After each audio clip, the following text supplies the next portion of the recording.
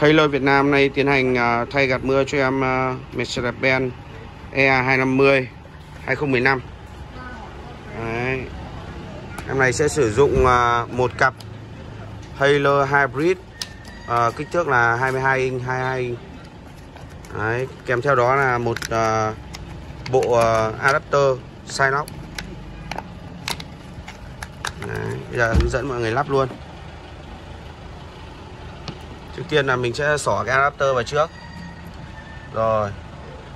Đấy, Sau đó là mình sẽ tháo cái zin này Tháo cái lẫy zin của cái chân móc ra Và mình sẽ bấm cái adapter vào.